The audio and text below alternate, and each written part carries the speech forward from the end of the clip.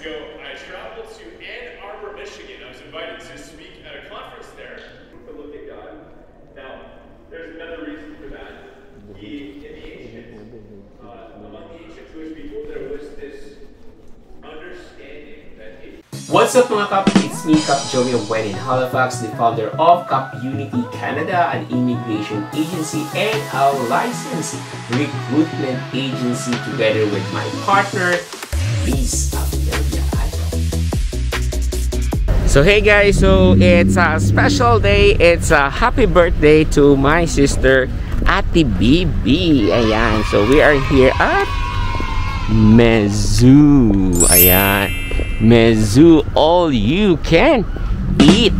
Ayan. And of course, let's see. Weekend price plus $2. Lunch is $18.99. Uh, $5.99. And her Ayan po mga ka. Papasok na tayo. Let's look for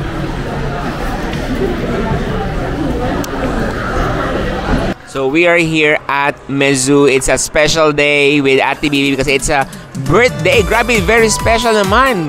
Sa Halifax, Nova Scotia pa nag-birthday. Ayan, Bibi, birthday wish.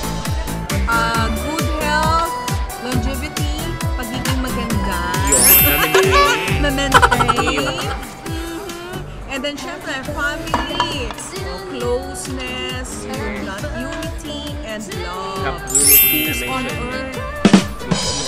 Miss Universe. And of course, we have Jad. Ayan. Hi, Jad. Hi po. How's the birthday celebration?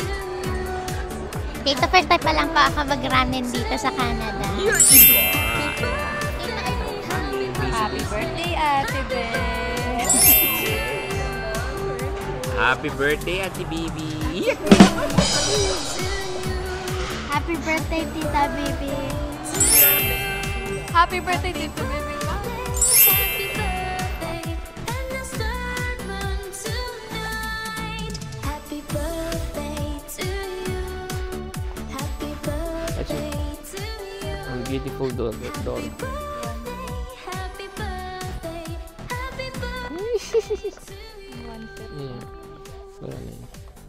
Oh, not bad na yun. Mm. This is really good. Dati siyang 120. So, Mom, pa. Look at this.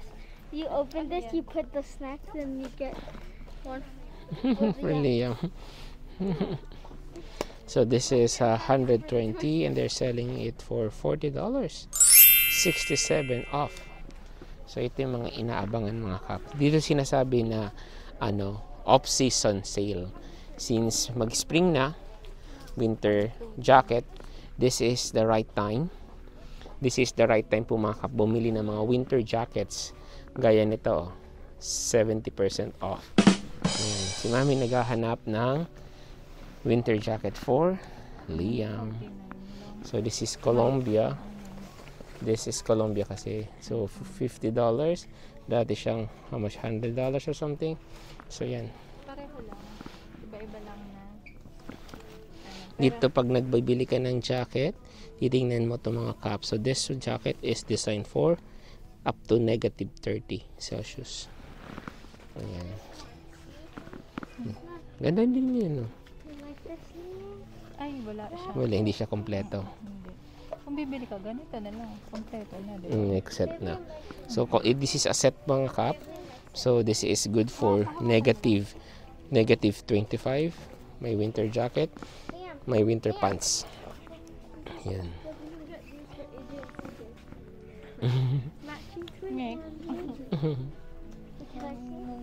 Ganda, ganda her naman ang aking anak. Hihi. Ish.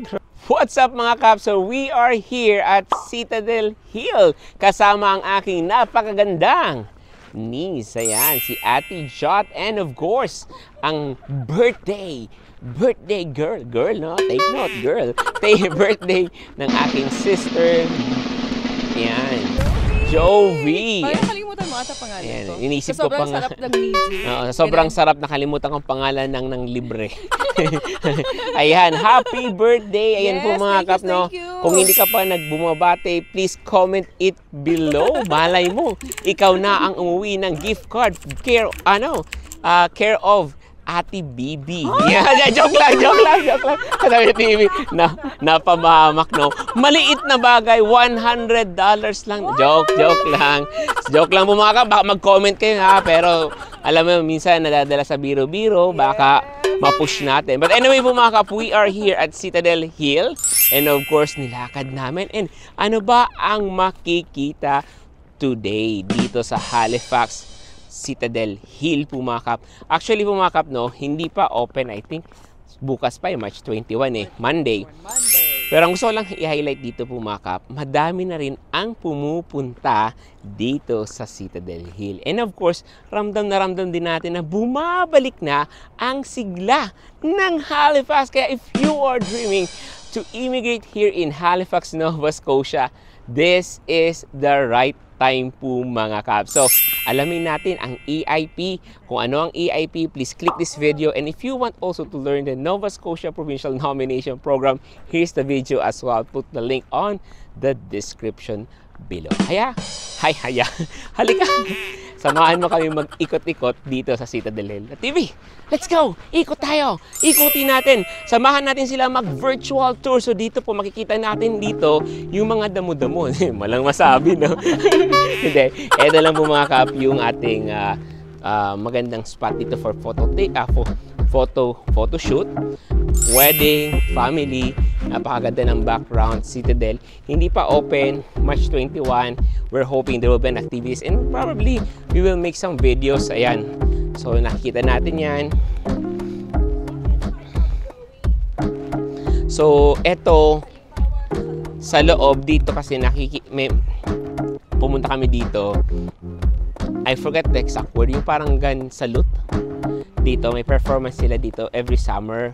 So actually may video ako nito, I don't know kung makukuha ko, pero meron akong video nito na may gun salute, nanood kami nila Achi.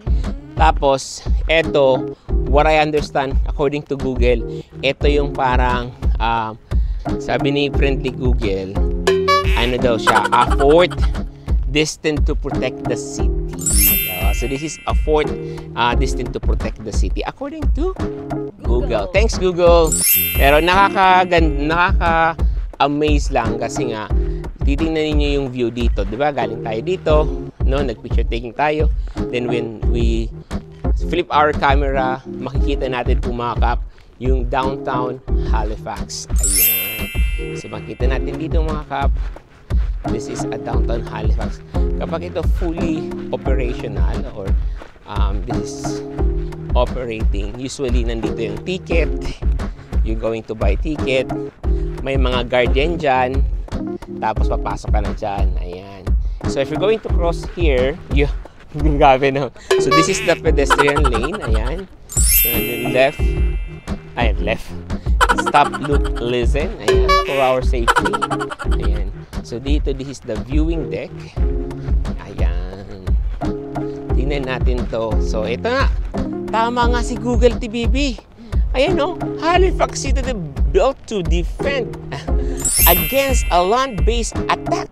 The Halifax Citadel was for, 14 as the 14 a series of forts to occupy this hill. Ayun.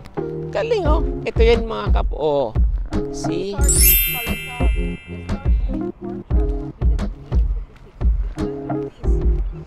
Woo!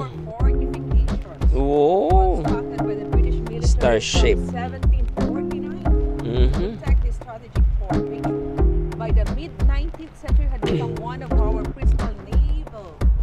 Station. stations in the British Empire. Grabe. Ito yung iniisip ko kanya garrison. Garrison by British Garrison by the anti-Canadian British military assumed control all All Halifax settled in 1906. the citadel stands today as a reminder of our rich colonial and military past. Historic Site and, Mon- and Monuments Board of Canada. So, ayan po mga kap. And here we are. We are in the viewing deck as well.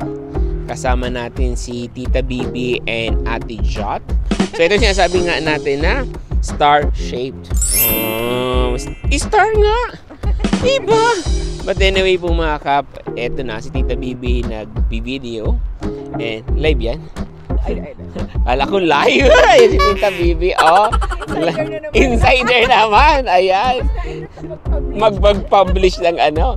But anyway, so here we go. Here's the old old town clock or commonly called as Citadel clock kasi nasa Citadel siya. Pero according to Google, this is an old town clock. Ayan, nandyan. And of course, if mahilig mag-hockey or you want to experience to watch hockey, this is the place to to visit as well, the Scotia Center. Ayan, sa likod po niyan mga kap, on the back, that's a, uh, that's a downtown Halifax. And of course, ayan, nasa taas po tayo ng Citadel Hill, nakikita natin yung mga mga sasakyan dyan, that's a downtown Halifax. And of course, sa likod naman ni, at, ni Ate Chat is the famous na McDonald's Bridge. Kung ikaw ay nagugutom at gusto pumunta sa McDonald's, ayan po ang McDonald's Bridge. Ayan, I don't know if you're able to see it, but that's the, ayan, that's the McDonald Bridge. Ayan po mga kap. So, ayan.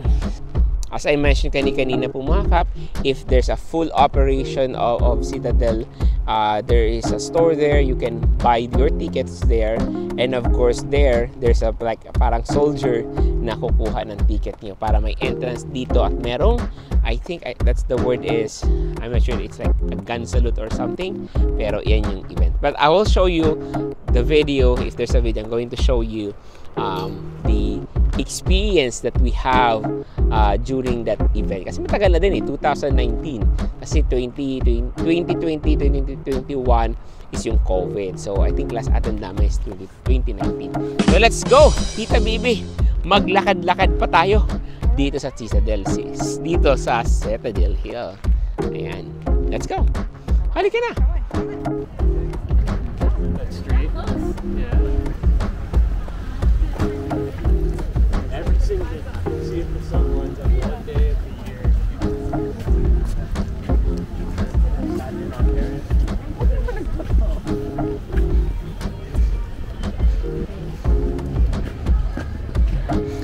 Sarado siya yan.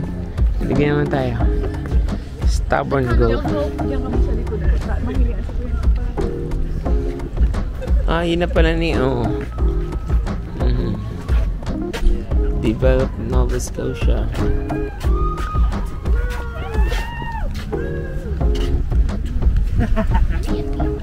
I don't know.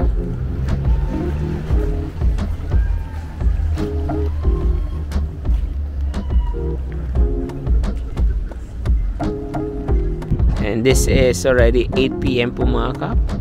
This is the um, the view of uh, waterfront Halifax.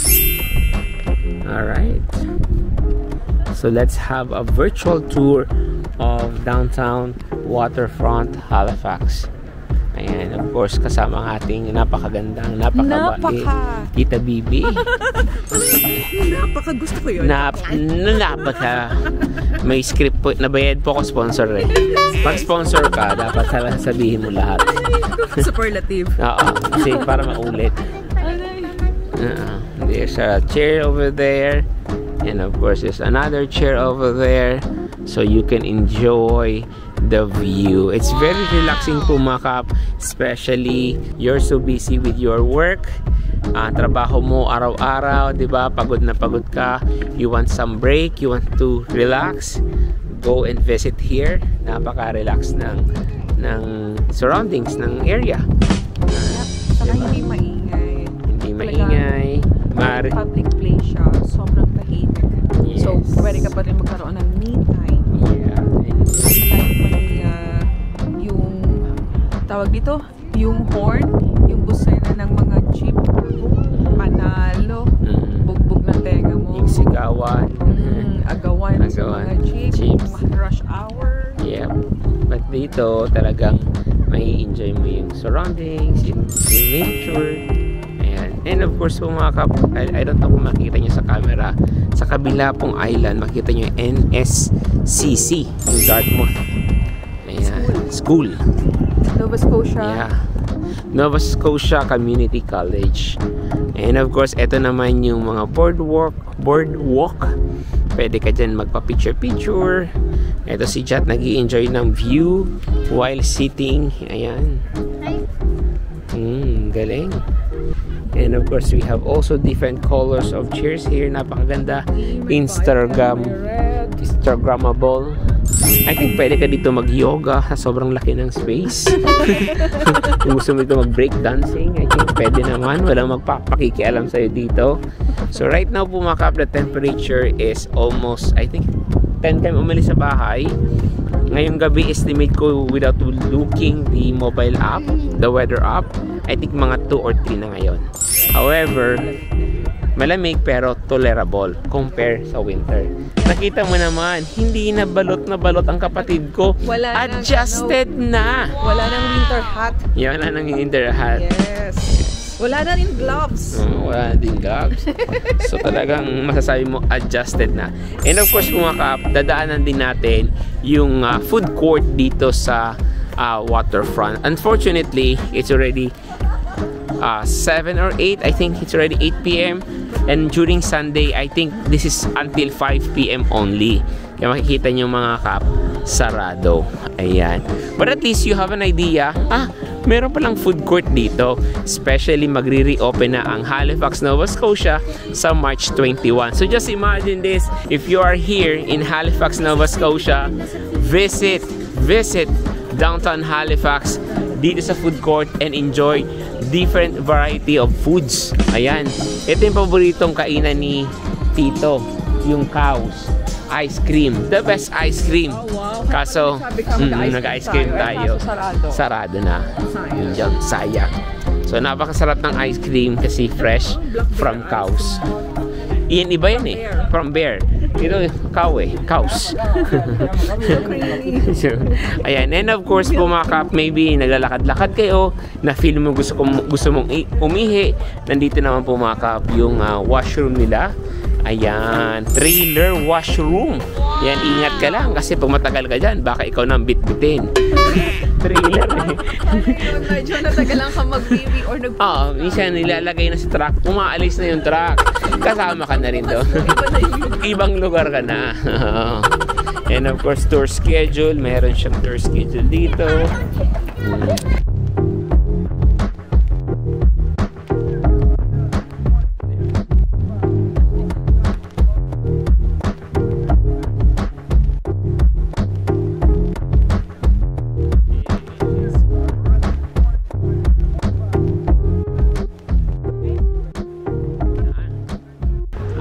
Mga kap, napakaganda ng Halifax, Nova Scotia. Kaya ano pa, bisita na or manirahan na dito sa Halifax, Nova Scotia. Maganda na, ayos pa. Ayan. Maraming salamat po mga kap for watching and don't forget to like, share, and subscribe.